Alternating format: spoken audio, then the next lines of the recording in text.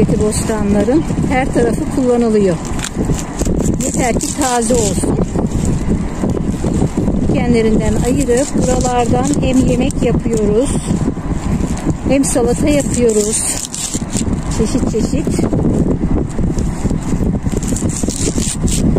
Ve yağmurlardan sonra da bakın çok güzel büyüdüler.